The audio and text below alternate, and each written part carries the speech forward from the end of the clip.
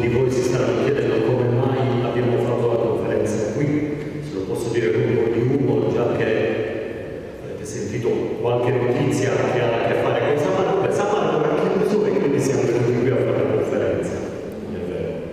Non solo San Marco non è chiuso, ne approfitto per dire che San Marco è aperto con tutte le sue attività e noi nuovi confratelli abbiamo tutto il desiderio di implementare, continuare e aprire nuovi luoghi e nuove prospettive. Quella di stasera vuole essere proprio questo, di creare insieme con le diverse entità che interessano il complesso di San Marco, creare una, una realtà bella, una realtà aperta. Allora, veramente vi ringrazio per la vostra presenza qui. Due parole su Sor Paola. Paola Godo. Lei è monaca domenicana del monastero Santa Maria della Neve e San Domenico in Prato Vecchio. È un monastero bello, vivo, se vi capita di essere di passare nelle zone di Prato Vecchio, vi consiglio veramente di andare a trovarlo. È un monastero che come comunità ha avuto il coraggio di costruire un nuovo monastero e quindi di sciamare il monastero antico che con le strutture antiche spesso eh, ha tutta una serie di difficoltà che la, la vivere quotidiano eh, comporta, quindi hanno costruito un nuovo monastero, avete pensato bene, aperto all'ospitalità, bello, una bella comunità, eh, anche con diverse comunità giovani, quindi vi consiglio veramente di andare a trovarle. Suor Paola è diplomata prima nel liceo artistico, poi all'Accademia delle Belle Arti, Como, e anche in monastero ha continuato la sua attività artistica unendo quella che è la sua vocazione di contemplativa all'arte. Ecco da dove nasce proprio contemplazione e nell'arte, la sua conferenza. Quindi ci sarà una prima parte della conferenza che sarà più eh, speculativa, devo dire, su, su, sulla, sull'arte, e poi come arte e missione, e poi come una seconda parte come Beato Angelico ha fatto questa sintesi di contemplazione e arte. Probabilmente, immagino, conoscevo Sor Paola e anche il suo carisma da pittrice, tra l'altro restauratrice anche, e in realtà non è altro che l'espressione di quello che lei probabilmente vive nella sua vocazione, cercare di fare sintesi tra una spiritualità, una e un'arte. Quindi lascio la parola a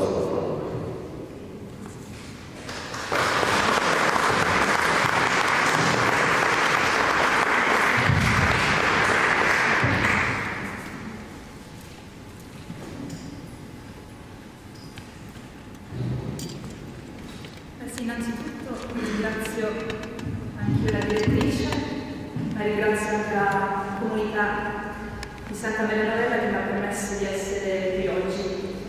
E ringrazio anche la mia comunità di Prato Vecchio appunto perché, perché mi hanno mandato. E quindi è stata una cosa decisa comunitariamente per cui io sono qui anche a nome di tutta la mia comunità. Diciamo, questo nostro incontro vuole appunto che essere una, una condivisione, un parlare con voi di quella che è appunto una mia passione che, mi, che porto avanti da, da anni. Prima in un modo e sto vivendo in maniera diversa, appunto come accennavo prima la direttrice a Gian Matteo, è qualcosa che è cambiato negli ma che non ho mai perso. Si sente oggi molto parlare di bellezza, di arte, e anche appunto di come esprimere questa bellezza, quest'arte. Sembra che in quest'epoca moderna, sia stato perduto il senso dell'arte e della bellezza. Von Bartas scriveva in Gloria, la nostra prova iniziale si chiama bellezza, è bellezza disinteressata, senza la quale il vecchio mondo era incapace di intendersi, ma la quale ha preso congedo in punta di piedi dal moderno mondo degli interessi, per abbandonarlo alla sua utilità e alla sua tristezza. È bellezza alla quale non osiamo più credere e di cui abbiamo fatto un'apparenza per potercene liberare a cuor leggero. Essa è la bellezza, infine, che esige perlomeno altrettanto coraggio e forza di decisione della verità e della bontà. Poi prosegue quasi in maniera ironica. Chi al suo nome increspa il sorriso di l'altra, giudicandola come il minnolo esotico di un passato borghese, di costui si può essere sicuri che segretamente o apertamente non è più capace di pregare e presto nemmeno di amare. Sono parole dure secondo me queste, che indicano una perdita di cuore, di sensibilità.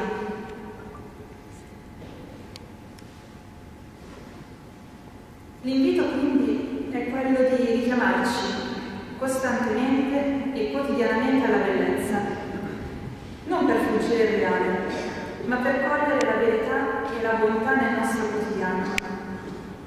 E in questo quotidiano del mondo che sembra frettoloso e distratto, un guardare dentro per non abituarci a vedere solamente la superficie delle cose. Quindi proviamo a pensare in che modo l'arte e il bello possono essere correlati tra loro quando mi è stato chiesto di preparare questo incontro nella festa del nostro confratello Beato Angelico, sono partita facendomi alcune domande. Ruolo dell'arte e dell'arte sacra oggi? Ha senso parlare di bellezza oggi, in un mondo che ci propone sempre più spesso immagini legate a morti e fuggi?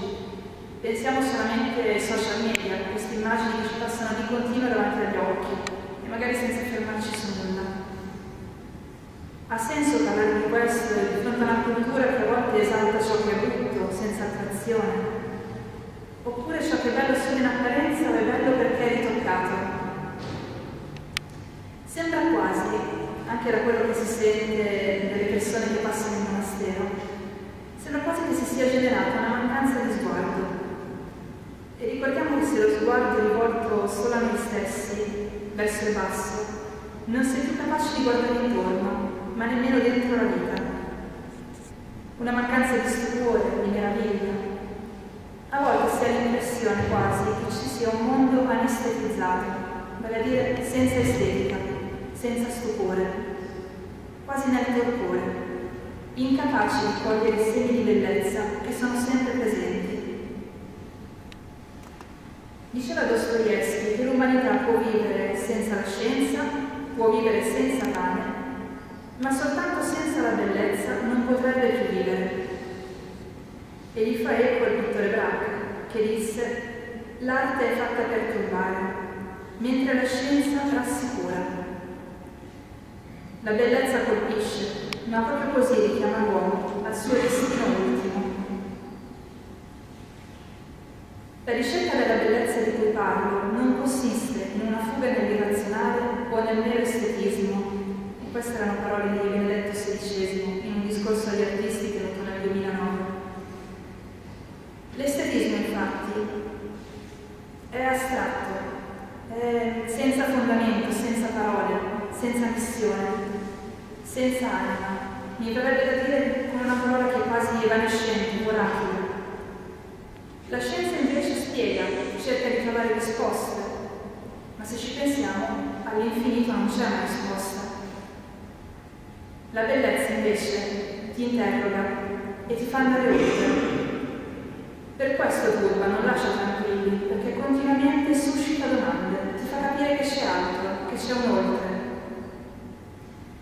L'autentica bellezza schiude il cuore umano alla nostalgia, al desiderio profondo di conoscere, di amare, di andare verso l'altro. Quanto è importante quindi riuscire a coltivare uno sguardo che sappia ancora fermarsi e osservare in profondità, nel cuore delle cose e della realtà. E la terza domanda che mi veniva era, a cosa serve la bellezza in questo mondo tanto spesso avvinto nelle tenebre? Entusiasmo e fiducia? Cosa può incoraggiare l'anima umana a ritrovare il cammino, ad alzare lo sguardo sull'orizzonte, a sognare una vita degna della sua vocazione, se non la bellezza? Ricordiamoci che la bellezza non è un rifugio, è un richiamo a vivere più in profondità, a guardare dentro. Quindi non allontana dalla realtà, ma anzi porta ad un confronto serrato con il vissuto quotidiano, per liberarlo dall'oscurità e trasfigurarlo, per renderlo luminoso e bello. Pensiamo ad esempio, nelle tenebre siamo ciechi, non vediamo, un po' perché siamo impediti da una condizione esterna, ma talvolta ci sono anche condizioni interiori. Pensiamo alle tanti forme di cecità dello spirito, come l'egoismo, l'egocentrismo, portano sempre a tenere questo sguardo rivolto verso il basso. Il contrario è la luce, perché la luce è vita e genera vita. Basta pensare alla crescita delle piante che è di fronte a tutti noi ogni giorno. Attraverso la luce quindi io posso vedere, acquisto la capacità di leggere la realtà che mi sta intorno. La luce è la rivelatrice della bellezza e la bellezza è questa luce nascosta nel cuore delle cose. Acquistare capacità di vederla e donare ai nostri occhi un nuovo modo di vedere il mondo. Paolo VI, nel messaggio agli artisti del 65, bellissimo secondo me, anche perché era un po' il messaggio che tentava di riagganciare i rapporti tra la Chiesa e gli artisti, appunto, scriveva questo mondo in cui viviamo ha bisogno di bellezza per non sprofondare nella disperazione.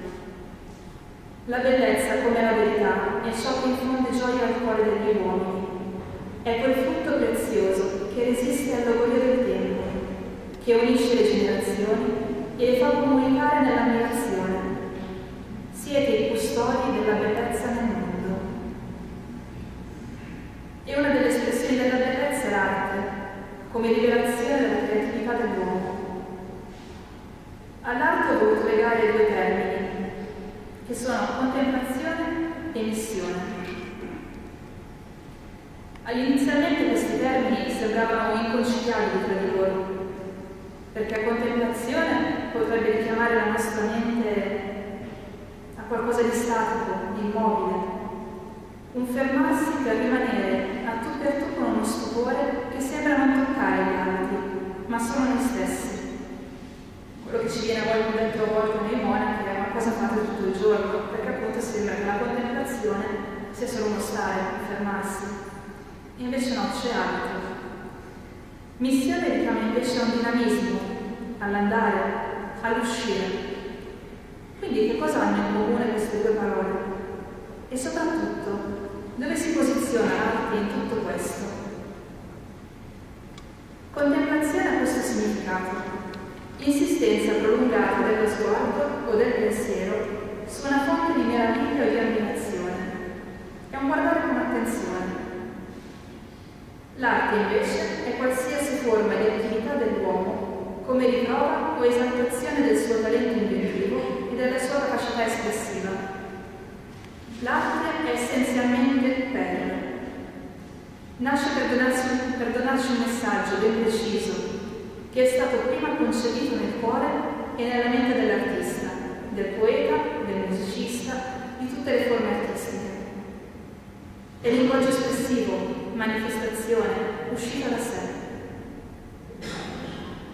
Uno dei motti del nostro ordine dice contemplare e contemplata ali stradere, contemplare e donare agli altri ciò che si è contemplato.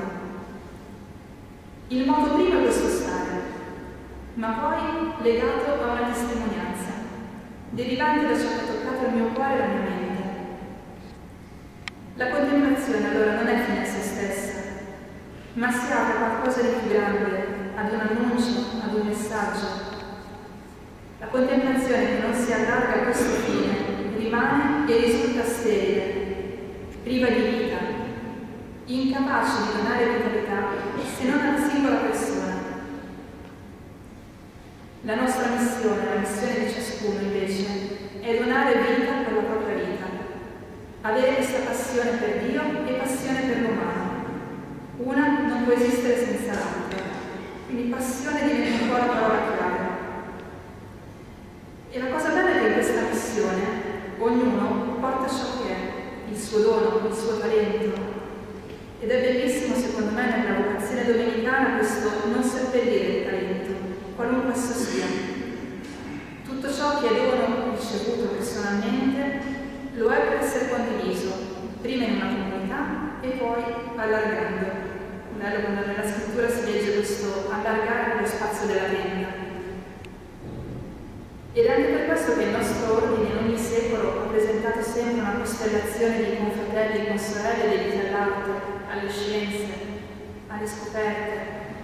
Tutto diventa un mezzo per raggiungere il fine e tutta manifestazione del divino. La natura, il mondo, è espressione e immagine della creatività del sommo artista. Una speciale posizione occupa oggi per noi l'arte e scriveva Giovanni Paolo II agli artisti nel 99, che avverte in sé questa sorta di scintilla divina che è la vocazione artistica, di pittore, poeta, scrittore, scultore, tutte le forme artistiche per l'appunto, avverte al tempo stesso l'obbligo di non sprecare questo talento, ma di svilupparlo per metterlo al servizio del prossimo e di tutta l'umanità. È bello questo avverte l'obbligo di non sprecare il talento, quasi fosse come un fuoco che arde dentro, non contenibile. E qui mi fanno eco le parole di Geremia, il profeta Geremia quando dice avevo un fuoco dentro che non potevo contenerlo. È espressione che chiede di uscire, di venire alla luce. Quindi l'invito è quello, come dicevamo, di sviluppare il talento perché sia messo a frutto del prossimo e di tutta l'umanità. Siamo i custodi di un patrimonio che abbiamo ricevuto, che abbiamo ereditato e che abbiamo il dovere appunto di trasmettere. Siamo responsabili di questo, di questo dono e siamo responsabili anche di educare i nostri occhi a vedere.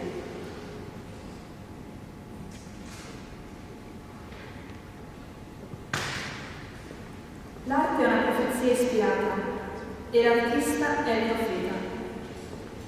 La funzione dell'arte è quindi profetizzare, parlare dell'invisibile, evocare con forme, suoni e colori lo sconosciuto, il non detto, l'inesprimibile, ciò che è più intimo, più prezioso, più divino dell'uomo.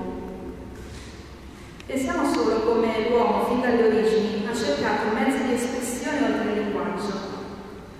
Sono testimonianze vive ed autentiche di fede, di esperienza, L'immagine richiama la mente ciò che rappresenta, senza uso di parole. Se ci pensiamo alla famosa Bibbia dei poveri, che parla ancora oggi, e parla a tutti, se non attraverso la vicenda narrata, che magari qualcuno può non conoscere, tramite la bellezza, che rapisce lo sguardo e il cuore. L'artista, quando plasma un capolavoro, non soltanto chiama in vita la sua opera, ma per mezzo di esse, in un certo modo, svela anche la propria personalità. Nell'arte egli trova una dimensione nuova e uno straordinario canale di espressione per la sua crescita spirituale. Così come nella vita, anche davanti a un'opera d'arte non ci troviamo di fronte a qualcosa davanti al quale rimanere asettici, ma piuttosto qualcosa che ci parla, che ci interpella, qualcosa di vivo che ci chiede di andare oltre e di cercare in quelle pennellate la storia e l'anima di chi l'ha prodotta. E qui mi piacerebbe mettere questa parentesi perché quello che ho appena detto l'ho proprio vissuto prima di entrare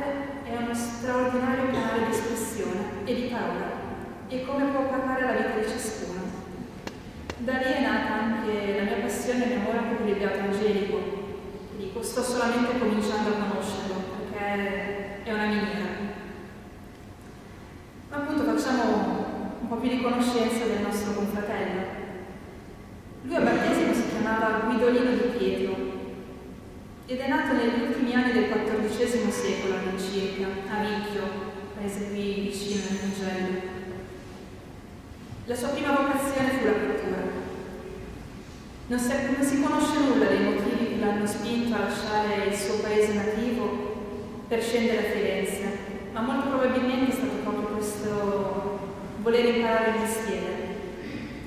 E si sa poco anche del periodo del suo apprendistato, si sa che fu il discepolo di Lorenzo Monaco, appunto monaco camaldolese dell'abbazia fiorentina di Santa Maria degli Angeli. Il suo periodo di apprendistato durerà circa fino al 1417 e in questi primi anni imparò soprattutto l'arte della miniatura. Inizialmente si specializza in questo, poi della tavola e dell'affresco, anche a seconda dei lavori che venivano commissionati al maestro di bottega il maestro aveva una commissione, faceva il, le opere principali, i personaggi principali e lasciava ai suoi garzoni le parti secondarie. Inoltre i garzoni avevano il compito di preparare i colori, i pigmenti, di macinare, preparare questa è una formazione per loro, oltre che un aiuto per il maestro. E inoltre, guardando, imparavano il mestiere.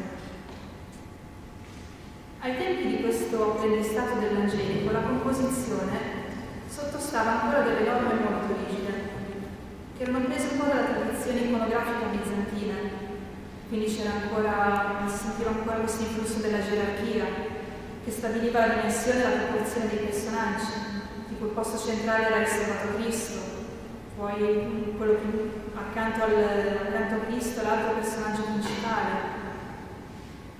i loro atteggiamenti, tutto era fissato. E quindi gli artisti ricorrevano un po' come degli schemi tradizionali. Era come avere un manuale pronto all'uso, che diceva come che cosa dipingere. Famoso ad esempio il trattato del Cennini, appunto che spiega minuziosamente le proporzioni di colore, di elegante, di, di tutto quello che ci voleva. Inoltre anche il colore, nel suo valore espressivo, era anche quello soggetto a notevoli limitazioni. Ad esempio, il giallo era il simbolo di Pietro o di Giuda, appunto il colore del tradimento. Maria era spessissimo rappresentata con delle vesti rosse e blu, come la vediamo in quest'opera, il rosso della natura umana, del sangue, e il blu della divinità. Cristo invece il contrario. Pensiamo anche al fondo oro di alcune tavole che impedivano un'ambientazione naturalistica della scena. Quindi in questa epoca dimostrava genio artistico chi sapeva superare queste normative con libertà creativa, correndo anche un rischio alto perché potevano sopraggiungere rifiuti delle opere da parte di committenti non pronti a tali innovazioni, oppure poteva procurare fama, proprio perché la novità attraeva e affascinava. Quindi Guido bottega imparerà questo. E inoltre anche il suo maestro Lorenzo ha attinto dai maestri del passato che sono stati dei grandi innovatori, come Luccio, Insegna, Simone Martini, fratelli Lorenzetti, che hanno cercato di donare umanità alle loro rappresentazioni artistiche. Inoltre anche Cimabue e Giotto. Lorenzo quindi si pone come un passaggio tra il gotico e il rinascimento impara dai grandi del passato ad andare oltre la tradizione, studiando le innovazioni del suo tempo. Il primo documento che troviamo sul Beato Angelico risale al 1417 ed è la sua iscrizione alla compagnia di San Nicolò, presso la chiesa del Carmine a Firenze. Questo è anche segno di un cammino spirituale intrapreso, essendo questa compagnia una corporazione di carattere religioso. E in questo documento è riconosciuto come dipintore. A quella data, grazie ad una grossa postuma, sappiamo che era ancora laico. Questa glossa recitava Fece si frate di Santo Domenico ed è datata tra il 1420 e il 1422. Quindi sappiamo che Guido di Pietro entrerà nell'ordine domenicano all'incirca in questi anni, tra il 1420 e il 1422. Era entrato in contatto con tante altre realtà, ad esempio con i camaldolesi, ma diede la preferenza all'ordine di San Domenico. E tra l'altro, qualche anno dopo, vi ritroveremo anche suo fratello Benedetto, anche assomigli turista, tra l'altro. A quel tempo due erano i conventi domenicani in questa zona. Uno era Santa Maria Novella e l'altro era San Domenico Fiesole. Nel primo però si trova scritto che all'epoca non veniva concesso il sacerdozio agli artisti, perché considerati lavoratori servili, lavoravano con le mani e quindi non erano in qualche modo degni di essere sacerdoti. E allora Guido di Pietro entra nel convento di Fiesole e la sua formazione, nella sua formazione ha avuto un peso determinante Sant'Antonino. È stato lui sia suo maestro che il suo priore. Alla professione religiosa, quindi, fra Giovanni, questo è il nome che prese Guido nell'ordine, si trovava dinanzi a un bivio, scegliere se essere converso quindi questo gli avrebbe assicurato maggiore libertà anche nel suo lavoro di artista, oppure, oppure clericale. Ma con i suoi superiori, e qui c'è da fare davvero un elogio a Sant'Antonino, scelse di essere clericale. Perché Sant'Antonino aveva riconosciuto questo genio pittorico e ha voluto che si sviluppasse e portasse frutto, ma al tempo stesso non ha voluto togliere all'angelico il fatto di essere sacerdote. Quindi nelle opere dell'Angelico troviamo predominanti dei temi, soprattutto, che molto derivano anche dalla sua formazione con, eh, con Sant'Antonino, per l'appunto. Quindi la centralità di Cristo, la conoscenza delle Sacre Scritture, il Magistero, l'adesione alla dottrina tomista, l'esemplarità dei santi e anche questo, l'attenzione alle richieste e attese del popolo e quindi una semplicità delle sue creazioni dovevano poter essere immediate, dovevano parlare. Tra le numerose commissioni dell'Angelico vi fu quella del suo priore, appunto, Sant'Antonino, che volle realizzare in questo convento di San Marco, che all'epoca, dal 1437 era domenicano, volle realizzare una serie di pitture murali. I lavori cominciarono nel 1439 e all'incirca andarono avanti fino al 1445 e Beato Angelico dipinse in questa struttura ad affresco 54 composizioni con oltre 320 figure umane, quindi una cosa immensa. All'interno di un convento erano lecite, anzi erano richieste le immagini sacre, a corredo delle sale comuni, del dormitorio e delle celle. Erano proibite invece immagini sacre ed esclusi materiali preziosi ed è stato uno dei motivi per cui Fra Giovanni scelse la tecnica dell'affresco, i cui materiali compositivi sono poveri, sono semplici, un po' di calce, sabbia e terra, e terra dei pigmenti. La bellezza di queste pitture murali, inoltre, è che si trovano nei luoghi pensati dall'artista. Questo è un privilegio per noi, perché ancora oggi quindi possiamo vedere il progetto e il messaggio che il Beato Angelico voleva dare ai suoi confratelli. Possiamo fare degli esempi presi da, da San Marco. Fuori dalla foresteria ha dipinto ad esempio il Cristo pellegrino accolto dagli frati. Nel noviziato primeggiano le figure di Cristo crocifisso. come sostegno a chi entrava nella vita religiosa e invito a riconoscere e unirsi all'amore. Tutto era pensato per richiamare la mente dei frati al divino, il divino che abita l'umano. Era una sorta di aiuto per mantenere quel clima contemplativo e di profondo ascolto che abitava le case domenicane. Come scriveva il Beato Giordano alla Beata Diana, che sono due nostri confratelli dei primi secoli dell'ordine, secolo dell'ordine, sia sempre vivo nel tuo cuore il desiderio della patria beata, il luogo splendente della luce di ogni bellezza. Posso lasciarmi interrogare dalle opere dell'Angelico. Dove mi pongo io nei suoi dipinti? Sono tra i discepoli che ascoltano? Sono tra chi accoglie il pellegrino? E questo è il messaggio vivo ed attuale che parla ancora oggi e che vuole entrare in dialogo con me personalmente. L'immagine richiama alla mente ciò che rappresenta, anche senza bisogno di parole. Ma come dipingeva l'Angelico? Ci viene trasmesso dal Vasari che egli non avrebbe mai messo mano ai pennelli senza prima aver fatto orazione. Non fece mai il crocifisso che non si bagnasse le gote di lacrime. Questo ci dice quanto fosse contemplativa l'anima dell'Angelico e quanto la sua arte scaturisse da una profonda contemplazione, da un'esperienza che diventa messaggio. Alcuni autori ci riferiscono che il Beato Angelico dipingesse in uno stato di estasi. Non è ovviamente l'estasi come la pensiamo noi, ma è come un rapimento, un essere totalmente immersi, mente, anima e corpo, in ciò che si sta facendo, con somma dedizione, mettendo tutte le nostre facoltà a servizio una missione.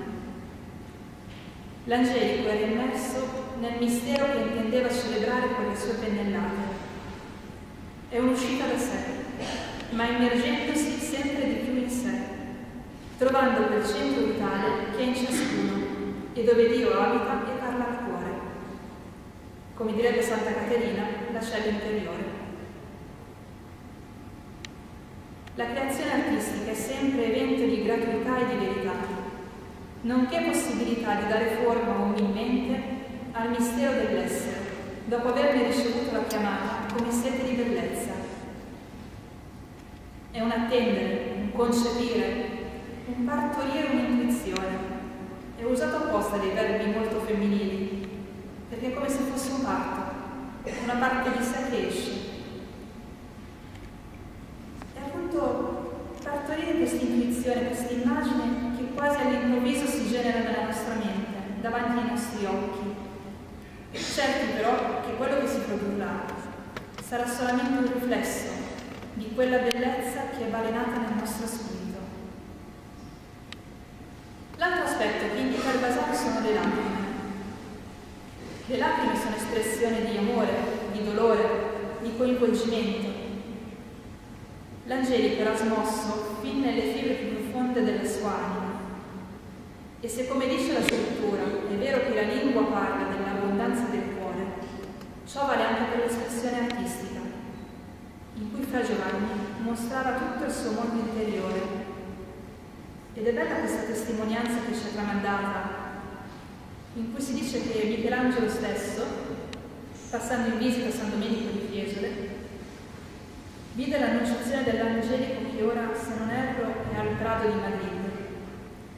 E vide questa annunciazione e disse, bisogna che la vedesse si fatta in paradiso.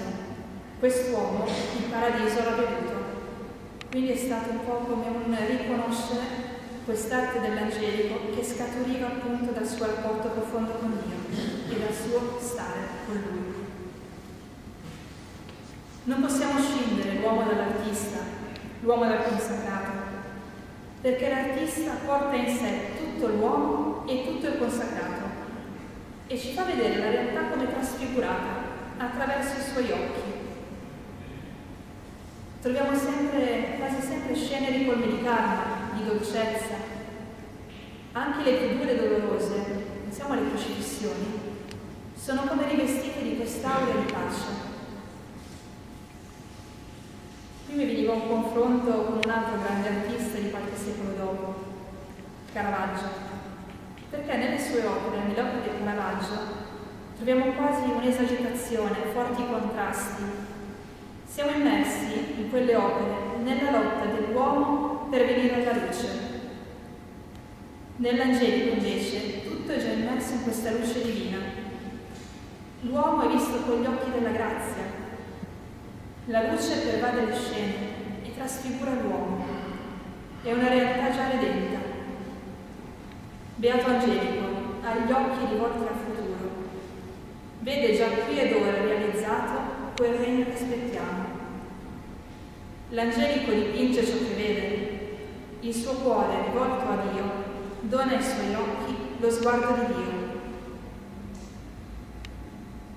Assumersi il compito e la vocazione della bellezza nell'arte implica rispondere a questo appello del Creatore, operando nella verità della facoltà creativa ed in comunione con Lui, quel mistero che già qui ed ora fa guardare il mondo come creaturalità riuscita quindi appunto questo sguardo che vede già realizzato ciò che sarà. Assumere questo sguardo ci permette quindi di essere sempre di fronte al mistero, non distaccandoci mai dall'umano che Dio stesso ha assunto. L'Angelico, affrescando in modo particolare San Marco e poi anche altri conventi dell'ordine, siamo anche a Cortona, ad esempio c'era un altro convento, ha lasciato una traccia indelebile della sua spiritualità, che era profondamente domenicana. Ma soprattutto è bello pensare anche che con le sue opere ha nutrito la contemplazione e la predicazione di tanti suoi confratelli in diverse epoche e nutre ancora oggi. Le sue opere, quindi, sono parole scritte non con inchiostro, ma attraverso i pennelli, che rendono manifesta la parola, la scrittura. Vorrei leggerne due in particolare stasera. La prima è l'annunciazione della cella numero 3. La seconda sarà la crocifissione del chiostro. Questa è una delle annunciazioni secondo me più belle e più umili, più semplici che il Beato Angelico abbia mai dipinto. È semplice nella rappresentazione, semplice nei materiali, ma dalla povertà nasce una grande ricchezza. È spogliata di ogni elemento decorativo, che nella cella di un frate poteva anche diventare motivo di distrazione, e rimane solo questa scena pervasa di luce. Fra Giovanni ambienta la scena in un chiostro, chiostro che dal latino è claustrum, riparo, recinto, quindi un luogo chiuso, protetto, riparato, un luogo di silenzio e di raccoglimento. Ed è così che ci appare la figura di Maria. La ragazza si presenta esile, i lineamenti allungati, simbolo di grazia e delicatezza. È inginocchiata su uno sgabello, con un libro in mano.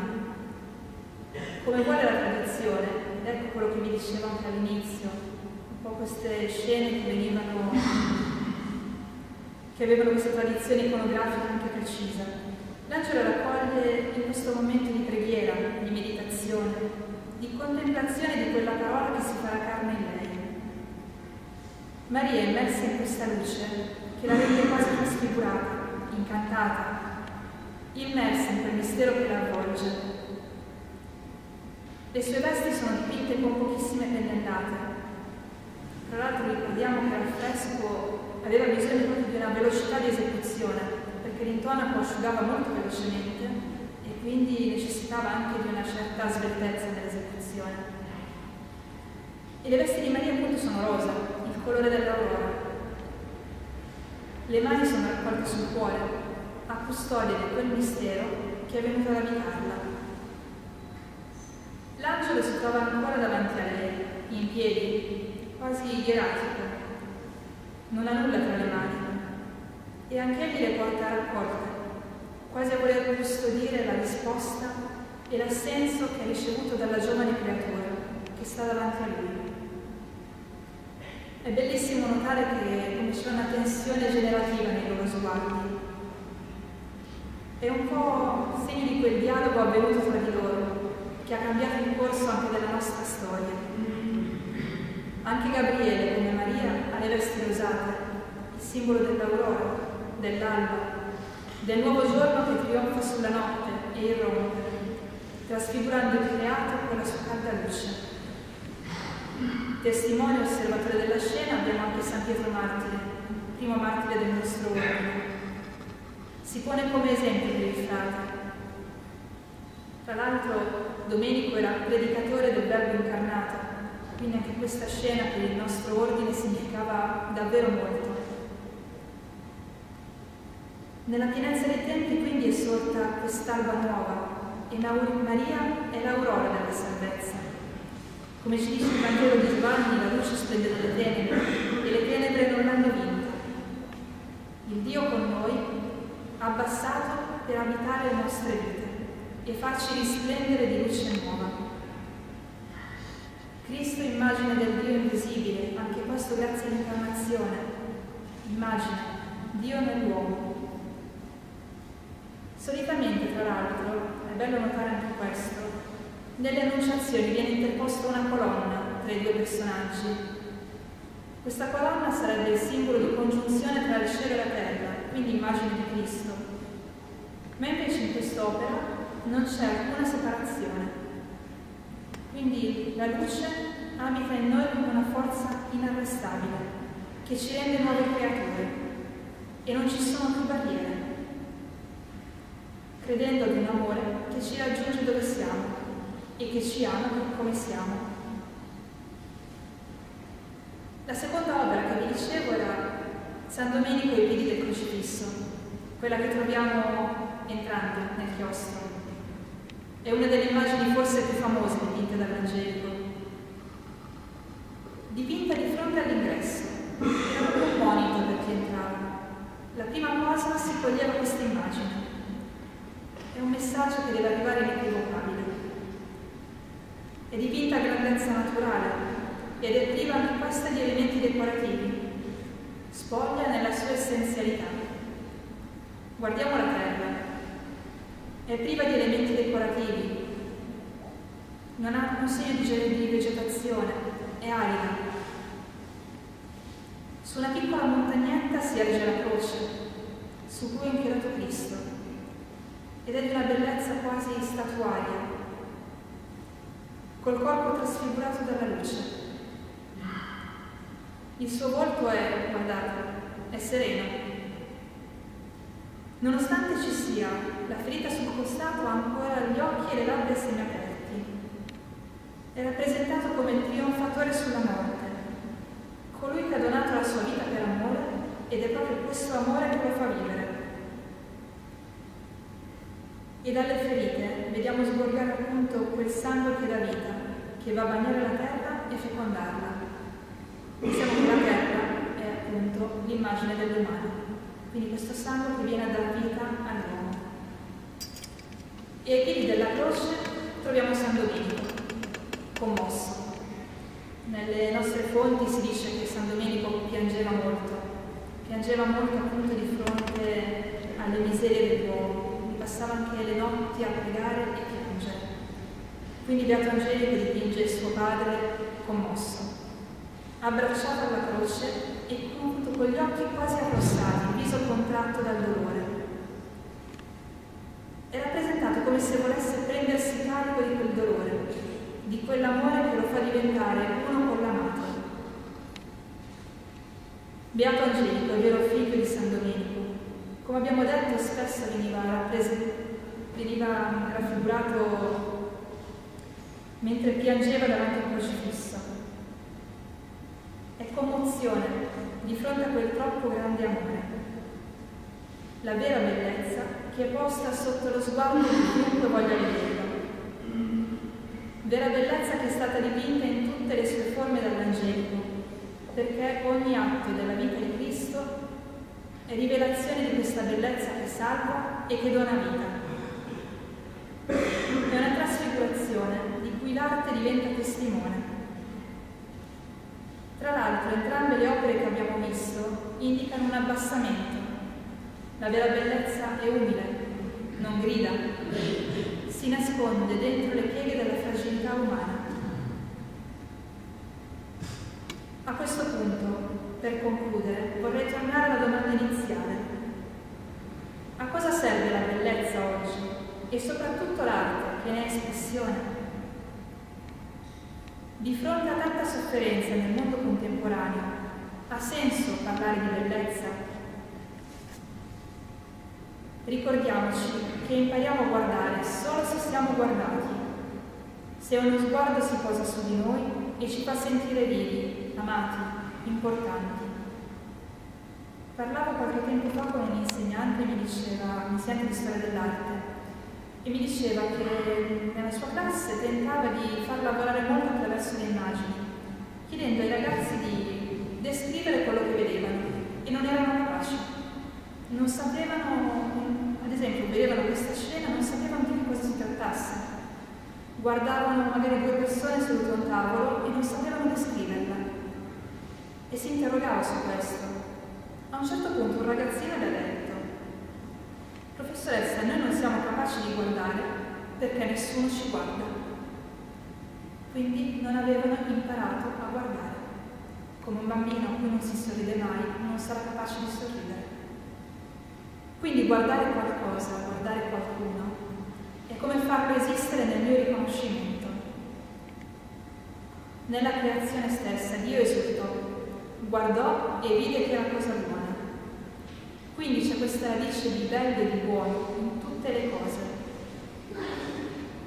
E in più non c'è nulla che non sia stato assunto da Cristo e nobilitato da Lui. L'Angelico stesso, appunto, dipinse la sofferenza di Cristo in maniera dignitosa. Non c'è mai disperazione nelle sue figure, semmai c'è compartecipazione, un soffrire con l'altro in attesa di una nuova creazione c'è umanità, c'è dignità. Il dolore degli altri ci muove, fa sorgere in noi questi sentimenti di, e anche gesti di bellezza vera. Quindi guardare questo tipo di arte ci richiama a coltivare profondamente la speranza, a vivere con uno sguardo diverso, che faccia cogliere semi di luce e di vita nel cuore stesso delle cose, delle vicende, la via della bellezza ci conduce dunque a cogliere il tutto nel, il tutto nel frammento, l'infinito nel finito, Dio nella storia dell'umanità. Un'autrice diceva, in tutto quello che suscita in noi il sentimento puro ed autentico del bello, c'è realmente la presenza di Dio. C'è quasi una incarnazione di Dio nel mondo, di cui la bellezza è il segno. Il bello è la prova sperimentale che l'incarnazione è possibile. Quindi lasciarsi sorprendere dalla bellezza serve per realizzare con un'opera d'arte il nostro capolavoro. Serve a trasformarci, a trasfigurarci. Sempre Giovanni Paolo II nella lettera agli artisti scriveva ad ogni uomo è affidato il compito di essere artefice della propria vita in un certo senso, egli deve farne un'opera d'arte, un capolavoro.